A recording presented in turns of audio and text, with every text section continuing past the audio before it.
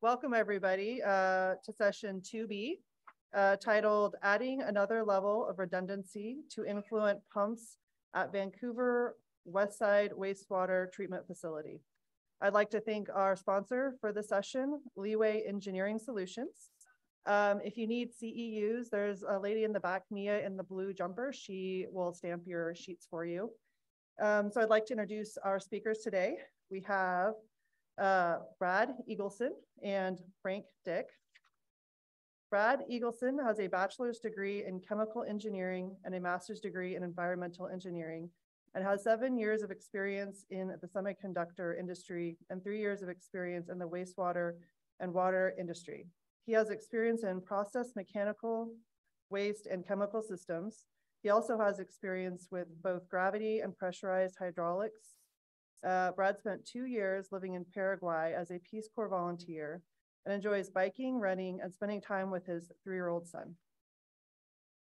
Frank Dick oversees sewer and wastewater engineering functions, including capital projects, wastewater system planning, interface with the city's contract operator for wastewater, Jacobs.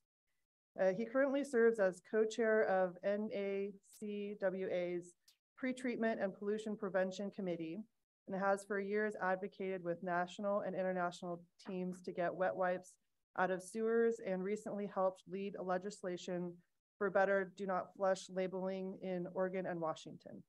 Frank has a bachelor's degree in chemical engineering and has 14 years of experience in semiconductor industry and 16 years of experience in the water and wastewater industry. Please help me welcome Frank and Brad. All right, thanks everybody. Uh, just quick, I graduated from Washington State University just down the road. Anybody else in the room? So quite a few of us. Yeah, I drove here from Portland and uh, drove through Colfax and got a ticket.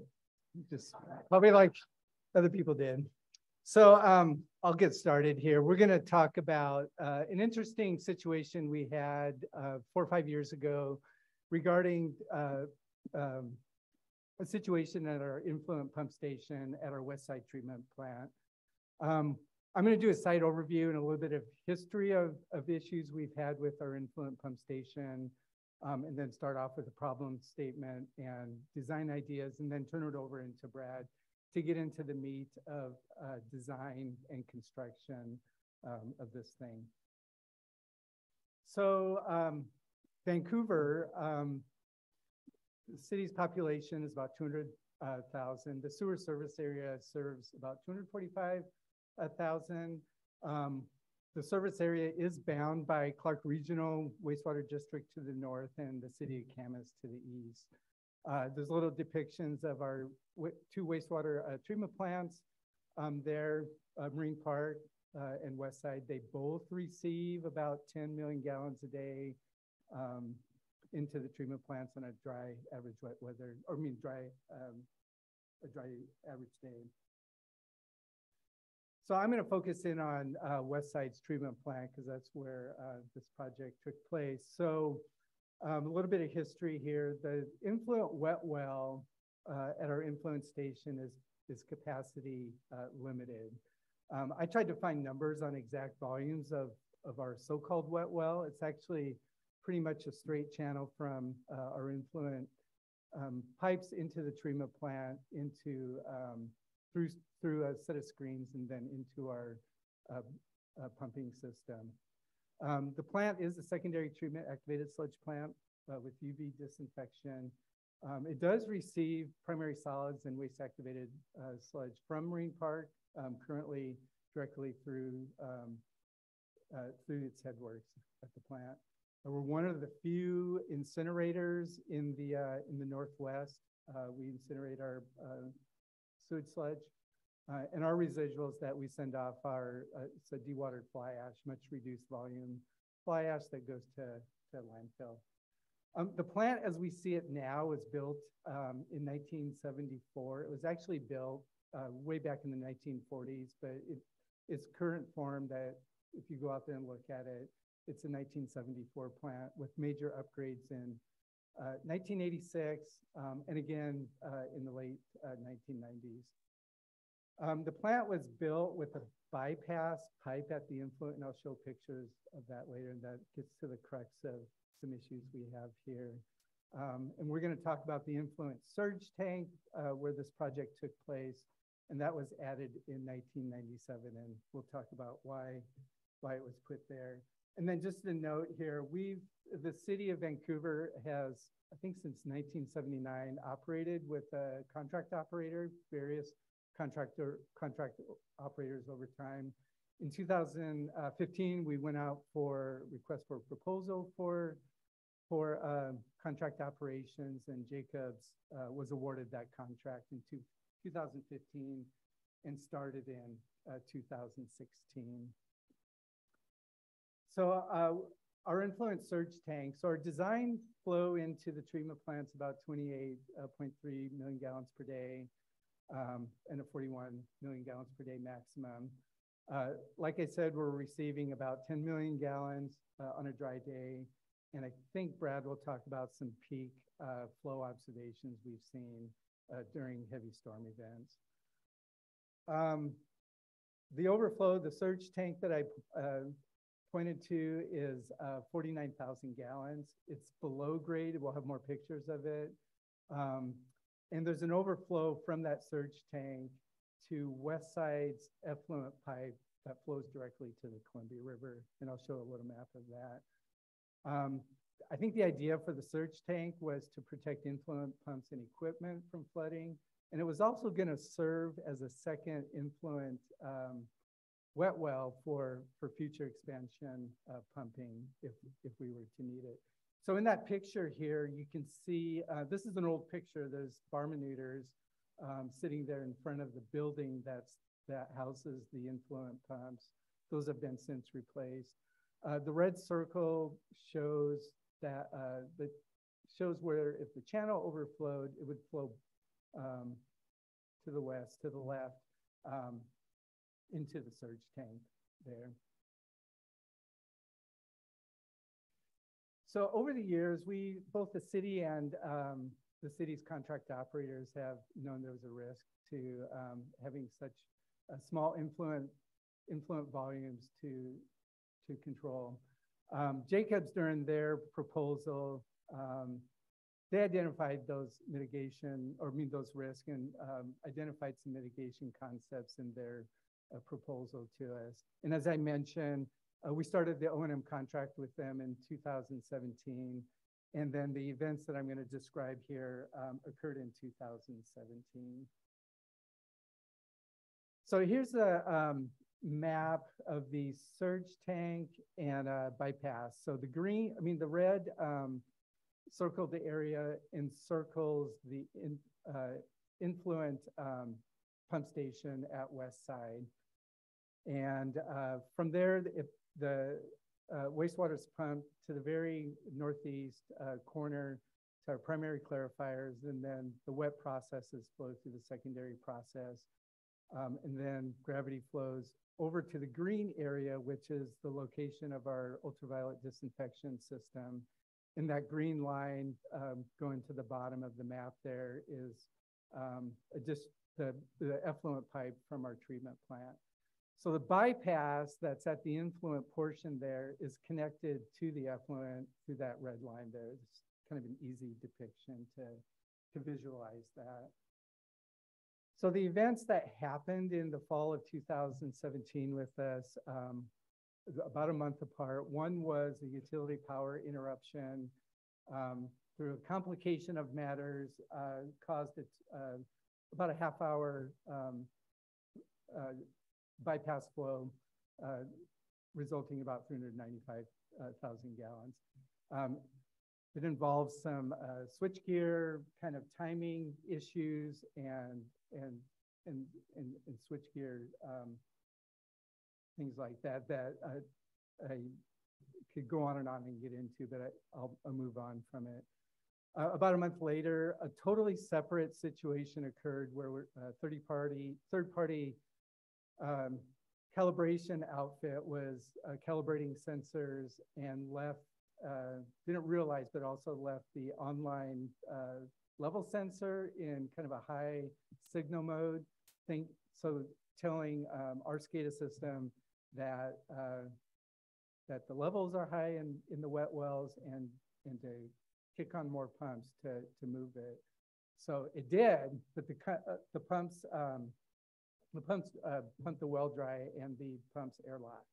So fortunately, we had um, an operator on site who kind of was keen to that and uh, released the air from the pumps and, um, and then was able to actually pump uh, pump sewage and get it back into level control. So both these events were reported to Washington Department of Ecology and then Clark County uh, Public Health.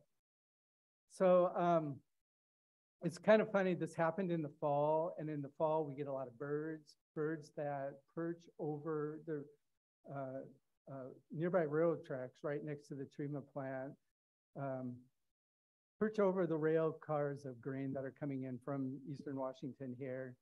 And uh, the, the theory goes, and it was um, has been observed when these birds fly off these uh, power lines, um, they, the power line swing and caused an arc and then caused uh, the substation at Westside Treatment Plant to um, temporarily uh, switch over or to switch over. Um, these are graphics that we presented to um, our city council just to help them visualize uh, the events and our proposed solution. So just simply, we show raw, raw wastewater going into our influent wet well, uh, our pumping system moving it to the treatment system, and uh, treated uh, effluent going out to the Columbia River. Uh, and then we showed uh, just simply what happened in the um, in these events of the fall 2017, losing our influent pumps, so the raw wastewater filling up that um, those influent the influent wet well and backflowing into the surge tank, and then the surge tank overflowing to the Columbia River.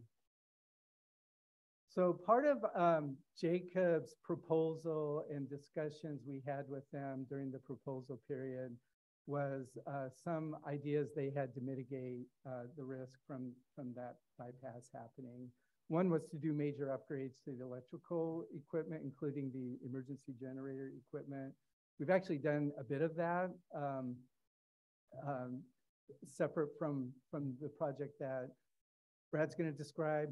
One was to retrofit chlorine, a decommissioned chlorine contact basin and set up some independent standpipes there and pump uh, wastewater from there to our primary clarifier system. And then the last one, um, put in diesel-driven back, uh, backup pumps um, at the um, uh, at the headworks actually was um, a proposal, and then we we ended up moving those to uh, the backup pumps to the surge tank, and Brad will talk about that. So with our city council, we showed our concept that if we get raw wastewater in and we lose our influent pumps, it'll backflow to the surge tank. Uh, we'll have these independent backup pumps in place to move um, the wastewater uh, directly to the primary clarifiers and bypassing the influent uh, wet well. It makes it look easy, but Brad will talk about some complications with it. Um, the events caught, uh, got some local media coverage um, and also some local tribal and environmental group responses. They actually held a, held a rally about a month after the last event in downtown Vancouver. Um, I just wanted to make note that our city council um, and our upline management was really solutions focused and provided any support we need to, to mitigate the risk of, of these bypasses. Um, just quickly on project um, delivery with the contract. So the O&M contract we, we had with Jacobs had provisions in there for to allow us to kind of trigger um, projects like this and get them into motion for design and, and delivery, um, uh, project delivery for us, including uh, pre-purchasing some long lead items like the uh, pumps that Brad's going to show. Um, I was, uh, one thing I was going to mention uh, related to that is, I kind of forgot to, be honest, but the next item was uh, we also got city support from our building permits. Um, just uh, them really helping us along. They're a good group of people to work um, with anyway, but uh, it's been, uh, it, we had worked with them. Uh, what I was going to mention was we had engaged with Department of Ecology on a schedule uh, that we were going to commit to to deliver a system. And part of that schedule was um, uh, working with them to present our design at the 30% level. And with that, I'm going to turn it over to Brad. Yeah, so jumping in, jumping in on this, a um, couple of things I want to bring attention back to is the OMM, OMM contract that Frank was talking about that allowed us to speed this project up. We'll touch on that just a little bit in the coming slides.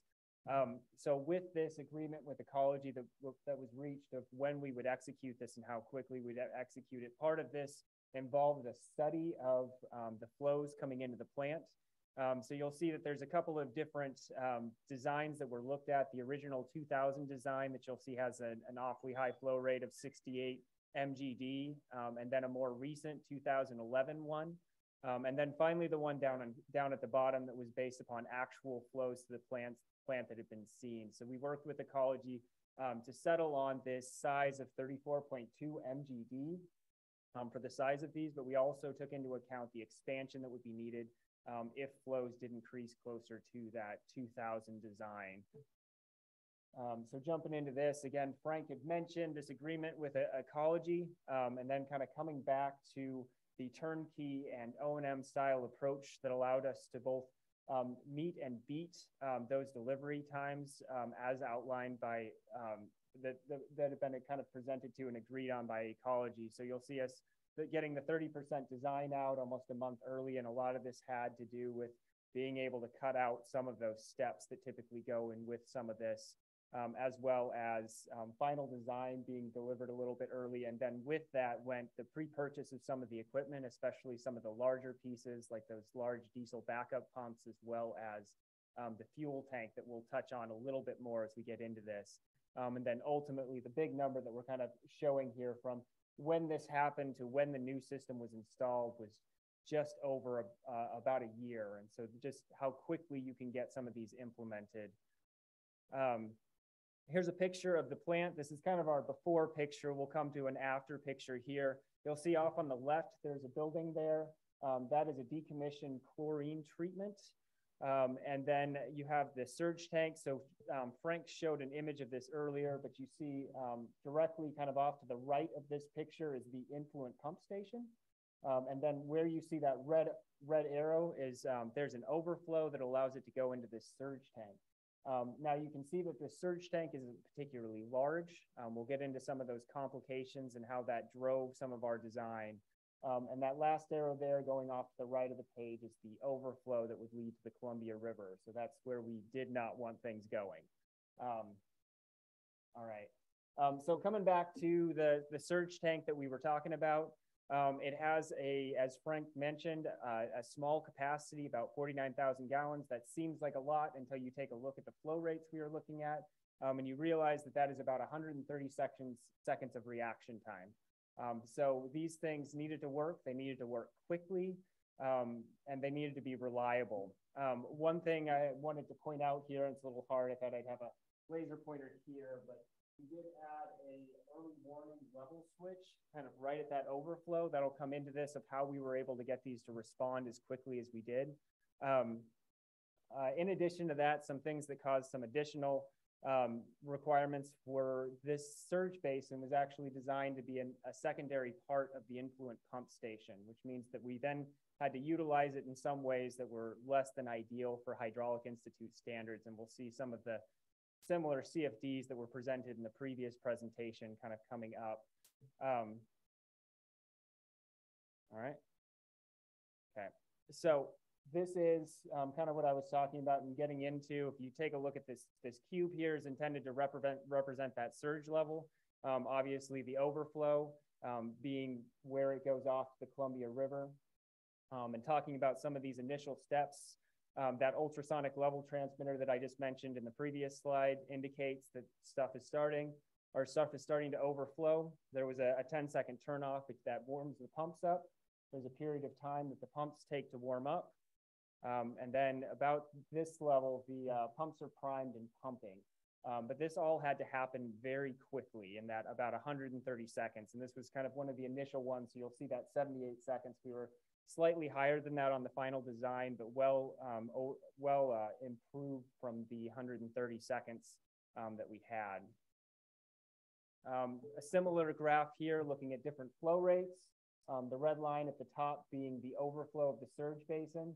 Um, and then what it would look like as those pumps started pumping. You'll see kind of at the edge of this, some of the, some of the lines actually going down that we'll get into the sizing of these pumps and how we had to make that work with this geometry as well to make sure um, we could run this at constant state when it was running. Okay, um, so we went, we were, and we actually sourced, so sourced, on, sole sourced on the, the Godwin pumps. Um, this came from a lot of work back and forth with that vendor. Um, and some of the requirements, these are some high or low head pumps with high discharge. Um, so we planned for two large 17.1 MGD pumps to get to that, that 30, 34.2 MGD. Um, and we'll talk a little bit later in the design, there's a, an expansion flange um, to bring on a third pump if needed in the future. Um, I mentioned a little bit of the high head, or sorry, low head and high flow rate. You can kind of see where we fall on that graph. We talked about maybe throttling valves if we needed to um, but they're designed to turn down to about 8.5, about a 50% turn down, so you really can meet a lot of those flows. Um, they're they're kind of fascinating pieces of equipment as they work a, a, lot like a pump on VFD, but it's if you imagine a VFD being the engine in your car and being able to throttle your speed up and down. Um, they were provided with eductors, um, which help speed the priming of the pumps, um, and they had to be designed to operate without utility power um, which was a big one since we are looking at a failure situation here um, where um, these needed to operate independently. As part of that too, the early warning level transducer that I mentioned in the influent pump station wet well um, was powered off of these pumps as well as a couple of level, transduce, uh, level transducers and floats that were actually in the wet well themselves and were used to control the pumps. Um, and then lastly, um, they needed to run independently of SCADA and they needed to be run, needed to be able to run independently for 24 hours. So we installed a diesel fuel tank um, and we'll talk about some lessons learned with that a little later in this. Um, for those of you that were here for um, the other presentation here, we'll be talking a little bit about um, CFD here and non-ideal hydraulic institute um, layouts of this since we were trying to reserve um, the design for the influent pump station and that possible expansion in the future. Um, we had to work with a design that wasn't hydraulically standardized. It's not necessarily what we'd like to put in place. Um, so we, similarly to what was previously presented, we took a look at some CFDs. Um, so a couple of things I want you to take a look at as we get into this. Um, this high superficial velocity, I want you to take a look at the swirling here. Um, and then watch what happens with this as it comes out of these. Um, so you'll see the velocities were high. You start seeing that swirl rate um, as well as um, vortexing within the suction line itself.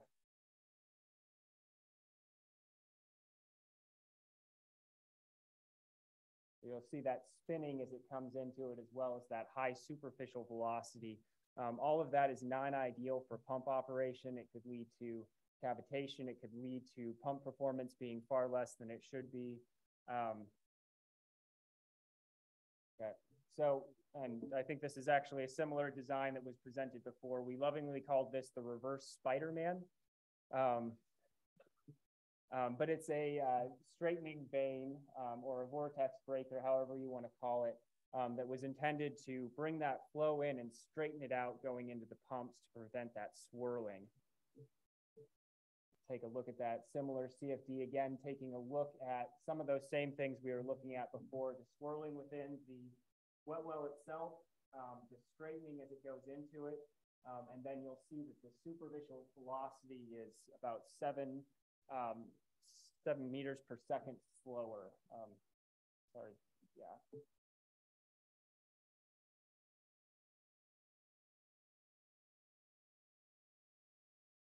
So it's still not perfect, um, but it was significantly better than what we had looked at before. And this was done by the CFD modelers uh, in our Corvallis office. In fact, we've got one sitting in the office of the audience here with us. So if I misspeak, he can correct me. Um, uh, we'll we'll get to questions a little later, and that is a, a lessons learned we had. Um, so going into this, some of the big successes we had, um, we were able to get these pumps to prime and under and start pumping in a, under 100 seconds. Um, I think one of them was 92 seconds and the other 96. Um, one of the big ones, and this is a bonus for um, Vancouver West Side, um, is that these pumps allow the, for the influent pump station to be taken offline um, for maintenance. That's actually something they're going to be able to utilize here soon as they're having uh, a leak near a, a, flange right now on the piping. Um, and so they'll be able to take this down and repair that um, while everything can stay in service. big one here was also that they were installed in under 12 months um, very quick construction and turnaround to help um, help with some of the concerns that were voiced um, and that Frank raised a little bit earlier. Um, a few of the lessons we lear learned talking about project implementation um, for those of us that are consultants out there. Um, we had a number of underground utilities that were part of this project. we did some potholing before this, but as you know, when you do potholing, who knows what you'll find when you actually start digging it up. Um, we had a lot of RFIs, requests for information at, as part of that. Um, and we kind of realized at the end of it that there might have been some value in just providing the contractor an allowance to move those as needed. Um, we had a little bit of an issue with the fuel pump priming. Um, we had installed electrically actuated solenoid valves. Um, after a little bit of time, one of those had failed, which led to an intermittent failure on the pump starting. Um, those were replaced with mechanical spring valves, um, which has alleviated this problem. And as far as I understand, you guys haven't had any issues with them since. Um, and then this last one, um, and I think kind of gets into a little bit of what this gentleman's question was here um, about whether or not we were seeing um, anything go through. We had installed a, a trash rack at the overflow as part of this project. now that was all right um, but it didn't get out um, anything near as much as you would with screenings at the influent. So as they've tested these and seen that they've been pumping out, we've seen some of those unscreened solids going to the primary clarifiers when these are tested um, on a regular basis. All right, um, here's an image of before. Um, you'll see the surge tank there down at the bottom, the chlorine tank, um, and some of what we had to work with. This is what it looked like afterwards. Um, and this is the same angle here. You'll see um, the two diesel pumps installed. The chlorine tank is missing, is gone. And you can kind of see in the background of the discharge of this um, going off um, to the connection point, which was actually kind of off here um, a little bit from the influent pump station since we tied into the discharge of the influent pump station. Um, we've just got a few construction photos, so I'll kind of jump through. This is um, shortly after that chlorine building was, was demoed, which was uh, done by the city under a different contract. And then some of these images of in between, you'll see the install of those pumps, and then some of the, the grading, um, and you'll see kind of this large hole here was part of how we were doing that tie-in. Um, so to just kind of bring us to some conclusion, conclusions here, um, what we ended up here, um, the value was an independent powered influent pumping system to serve in both unplanned and planned events. Um, a, a, really good application of um, computational fluid dyna dynamics analyzed to um, bring us closer to compliance with Hydraulic Institute standards. Um, the ins installation of that early warning level sensor that I spoke about was part of what helped us to get these to prime in short order. Um, and then this entire system was installed um, and commissioned in less than 12 months.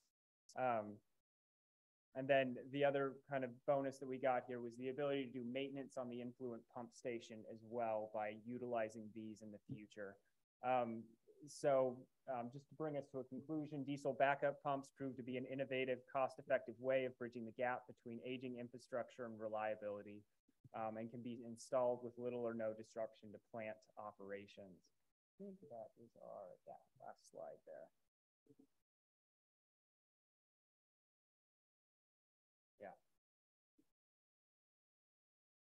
Hi, everybody. We're live streaming, so we're gonna have questions go through the microphone. Just curious what your power supply on your pumps is? Power, The power supply, there's a, a trickle charger for them and they're bad, they have a battery power similar to what you'd have in a car.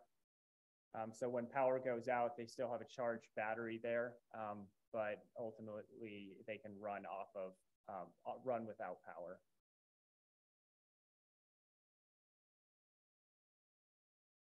On that same note, why wasn't a backup generator allowed for this project?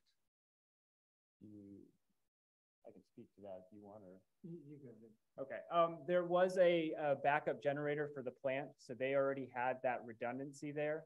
Um, but since there was, there was some aging infrastructure there and some complications with the existing one, it was more expensive to um, upgrade that. And there are plans to continue upgrading that, as Frank spoke about. Um, but that was about seven point eight million, um, whereas the install of these diesel backup pumps came in at a, a little under two million, if I remember the final cost of it. And and I'll just add, this is a real third level of protection uh, for us to, to keep those pumps going.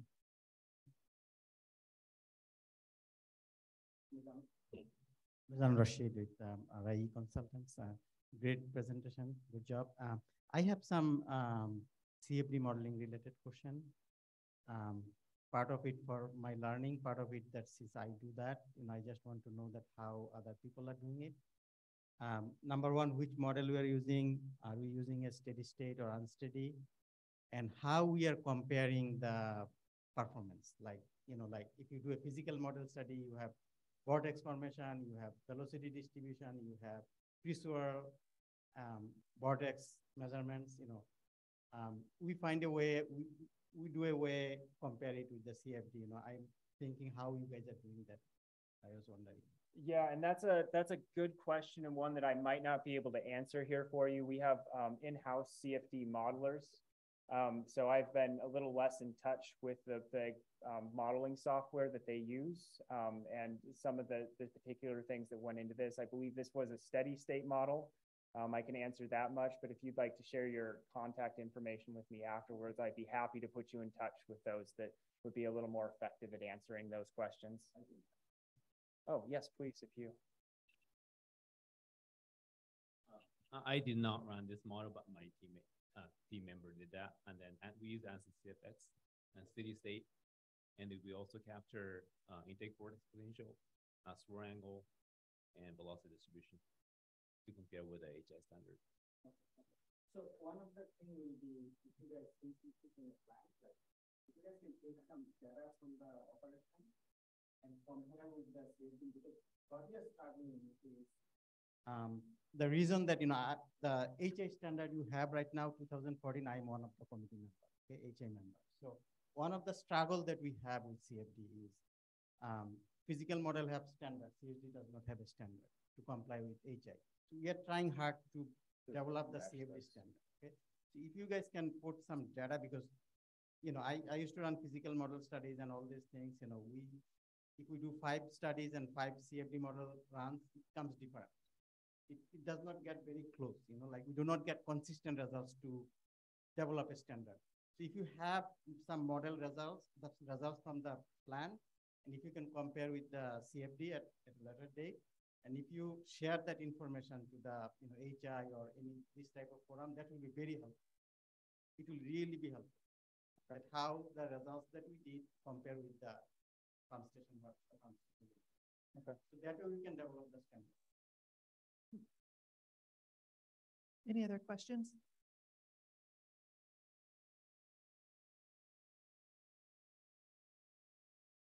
Yeah, I wonder if you uh, considered doing any grouting in the tank to curb, get rid of the ninety degree angles, or would you have lost too much capacity to do that? I don't remember, did we, I don't think we did any grouting at the time. I think we likely looked at a little bit of that in the CFD analysis and found that it wasn't as effective as the reverse Spider-Man. And then to that kind of point too, there was some concerns about um, further reducing the size of that wet well as it was only forty-nine thousand um, gallons and we had such a short reaction time.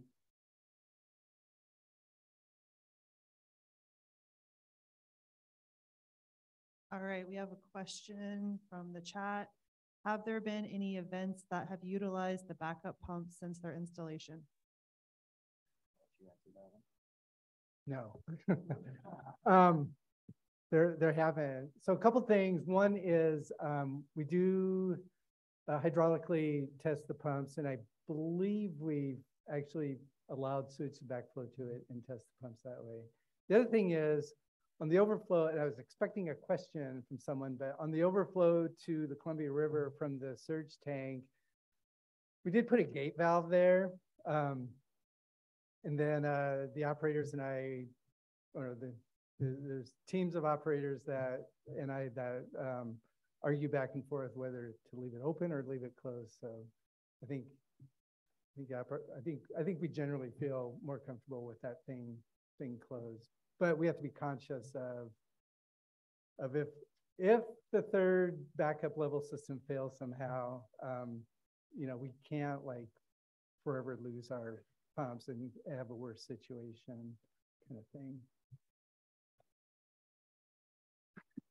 I heard that. That's how they tested it.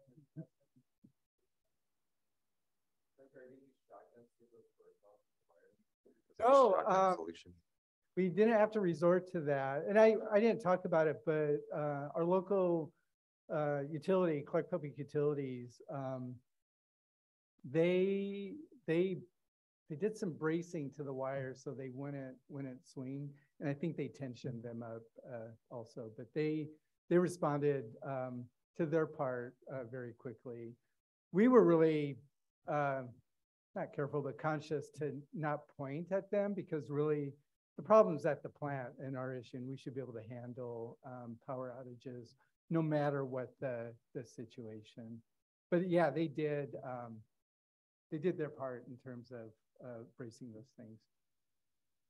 I think birds still show up, but Or the point, you don't want to scare them either, is that's when the problems happen. Yeah. I think the theory went that the train horns would go off, scare them, and then they'd fly off. It's in the, these, these events happened in the fall when we had grain loads of, uh, or train loads of grain. Um, you know, and they're just perched up there feeding off those, those big bird feeders.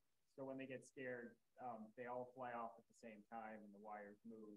Um, that was part of the problem that they ran into. We have a couple minutes left. Any last questions? All right, thank you. Oh, sorry, I saw, Ooh. no? Okay. All right, thank you to our presenters.